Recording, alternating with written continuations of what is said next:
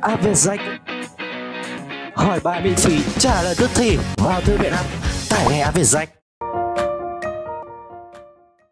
Tất cả các bạn, cô xin tự giới thiệu cô là Lương. Rất vui đồng hành cùng các em chương trình ôn thi Trung học phổ thông quốc gia môn lịch sử. Các em thân mến, ngày hôm nay chúng ta sẽ cùng nhau chuyển đến chuyên đề cuối cùng trong chương trình ôn tập của lịch sử lớp 12 chuyên đề số 5 Chuyên đề Việt Nam trong những năm 1975 đến năm 2000 cô chia thành 3 phân mục và chúng ta sẽ cùng nhau tìm hiểu trong phạm vi tiết học ngày hôm nay 3 phân mục. Một lớn sẽ là tình hình nhiệm vụ của hai miền Nam Bắc sau năm 1975. Hai lớn, hoàn thành thống nhất đất nước về mặt nhà nước. Sau năm 1975 chúng ta đã hoàn thành về mặt thống nhất lãnh thổ và nhiệm vụ cần hoàn thành tiếp theo đó chính là hoàn thành về mặt nhà nước. Ba lớn sẽ là Việt Nam trên con đường đổi mới. Chúng ta tìm hiểu về công cuộc đổi mới năm 1986 đến năm 2000. Và bây giờ, hãy cùng cô sẵn sàng bài học ngày hôm nay.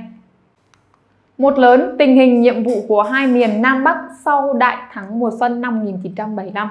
Sau năm 1975 tình hình Nam Bắc của Việt Nam chúng ta như thế nào, có những thuận lợi và khó khăn ra sao, nhiệm vụ của hai miền Nam Bắc như thế nào. Ta sẽ cùng nhau tìm hiểu phần một lớn ngày hôm nay. Thứ nhất, chúng ta sẽ cùng nhau tìm hiểu về tình hình thuận lợi. Thuận lợi ở miền Bắc đó là đạt nhiều thành tựu to lớn sau 20 năm tiến hành đi lên xây dựng chủ nghĩa xã hội và về về cơ bản miền Bắc chúng ta đã hoàn thành trong việc xây dựng được cơ sở vật chất kỹ thuật ban đầu của chủ nghĩa xã hội còn miền Nam miền Nam sau năm 1975 miền Nam hoàn toàn giải phóng và chế độ thực dân mới của Mỹ và chính quyền Sài Gòn ở miền Nam hoàn toàn bị sụp đổ. Đây chính là những yếu tố thuận lợi cơ bản nhất của hai miền Nam Bắc sau năm 1975. Mặc dù vậy, sau năm 1975, hai miền Nam Bắc của chúng ta phải đối diện với rất nhiều khó khăn.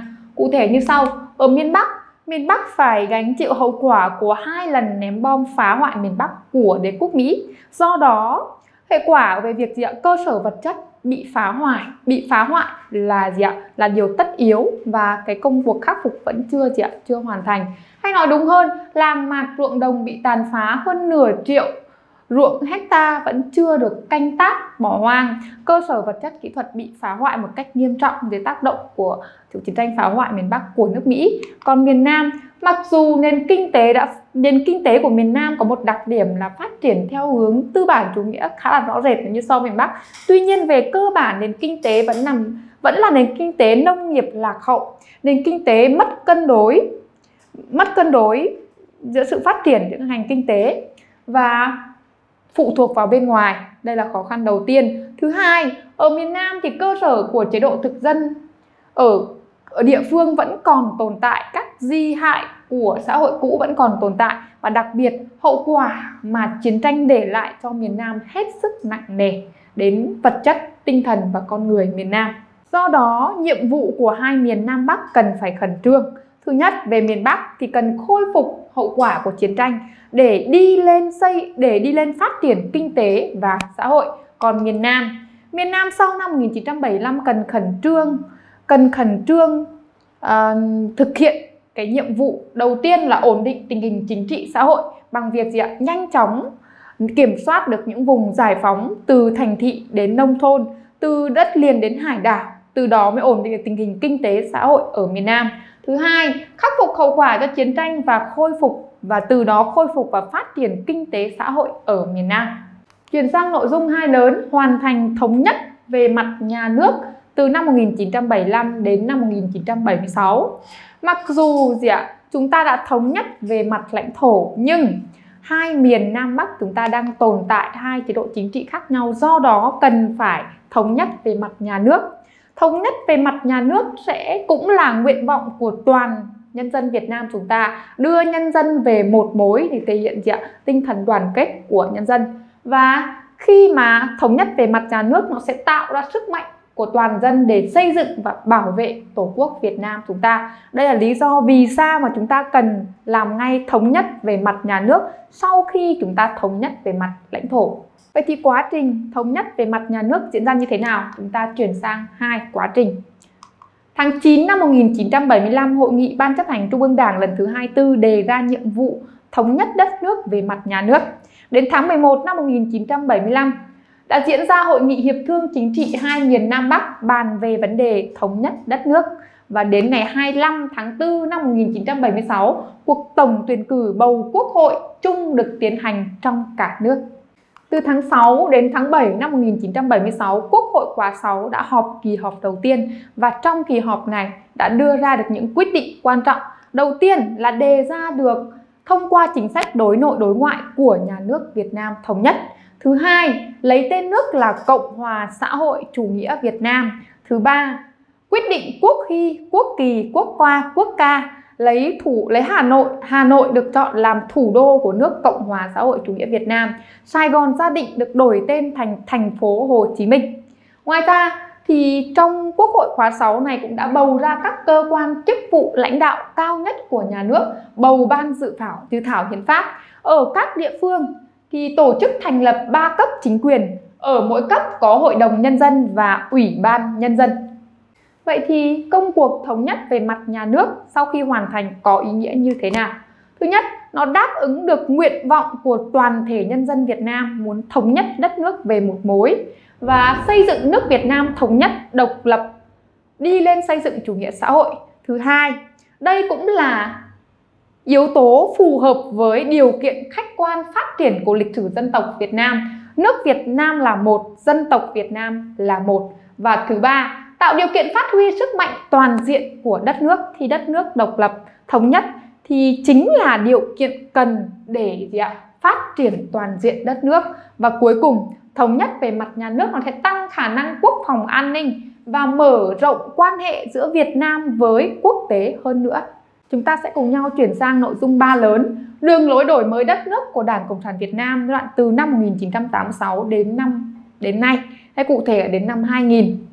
Các em thân mến, trước khi chúng ta tìm hiểu những nội dung cơ bản của công cuộc đổi mới năm 1986 đến năm 2000 thì chúng ta sẽ điểm qua một chút lý do vì sao đến thời điểm này chúng ta cần tiến hành công cuộc đổi mới. Trên thực tế đến thời điểm này trên thế giới, cuộc cách mạng khoa học kỹ thuật và xu thế toàn cầu hóa đã trở thành xu thế chính và nhiều nước trên thế giới họ đã tiếp cận xu thế này kịp thời đổi mới phù hợp với tình hình mới của thế giới.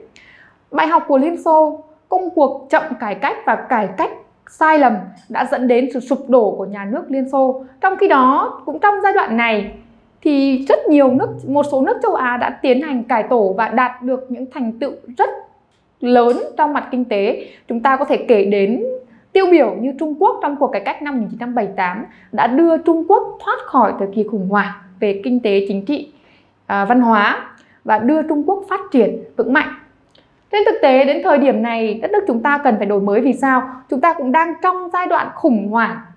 Khủng hoảng bởi vì trong sau hai lần chúng ta thực hiện kế hoạch 5 năm sai lầm về mặt đường lối từ năm 1976 đến năm 1986 dẫn đến cuộc khủng hoảng toàn diện về mặt kinh tế chính trị. Do vậy, đến năm 1986, công cuộc đổi mới là bước cần thiết và thiết yếu. Trước tiên, chúng ta sẽ nắm bắt cho cô về mặt thời gian diễn ra công cuộc đổi mới. Trực diễn ra được đề ra từ Đại hội 6 tháng 12 năm 1986 và được củng cố phát triển qua các kỳ đại hội tiếp theo. Về quan điểm, chúng ta không thay đổi mục tiêu của chủ nghĩa xã hội mà chúng ta làm cho những mục tiêu đó có hiệu quả với hình thức và bước đi biện pháp thích hợp hơn. Lưu ý cho cô chúng ta không thay đổi cái mô hình nhà nước chủ nghĩa xã hội mà chúng ta thay đổi trong quá trình cách thức thực hiện để cái mục tiêu ấy chúng ta đạt được hiệu quả hơn.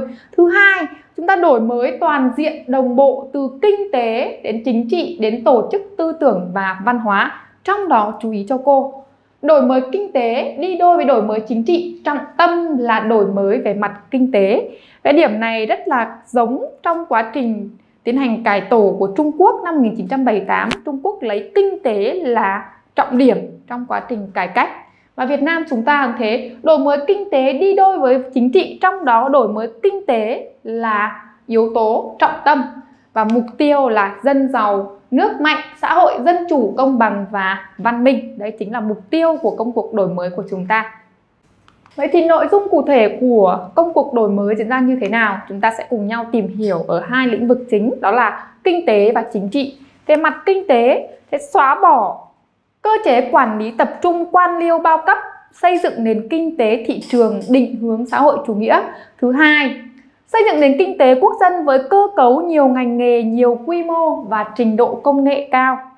Thứ ba, phát triển nền kinh tế hàng hóa nhiều thành phần có sự quản lý của nhà nước, định hướng xã hội chủ nghĩa. Đây là một điểm rất là giống khi chúng ta tìm hiểu về chính sách uh, chính sách kinh tế mới, chính sách kinh tế mới ở Liên Xô triển khai.